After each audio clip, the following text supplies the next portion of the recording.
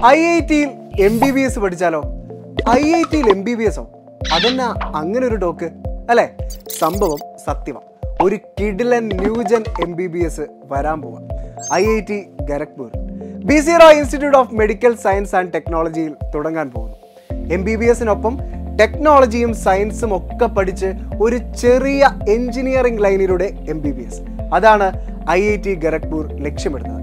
എല്ലാ രംഗത്തും artificial intelligence ചെലുത്തുന്ന സ്വാധീനം നമുക്കറിയാം അല്ലെ?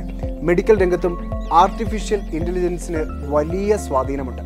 ഡയഗ്നോസ് ഡിസീസസ് സർജറീസ് ഇതിലെല്ലാം എയുടെ സ്ഥാനം നാൾക്ക് നാൾ വളർന്നുകൊണ്ടിരിക്കുകയുമാണ്.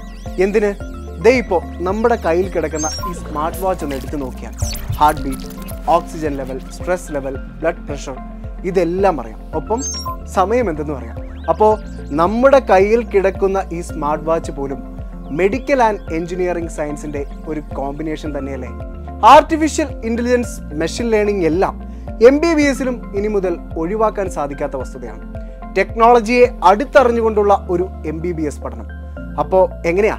ഇനി അങ്ങോട്ട് ആത്മാർത്ഥമായിട്ടിരുന്നെങ്കിൽ പഠിച്ചോ.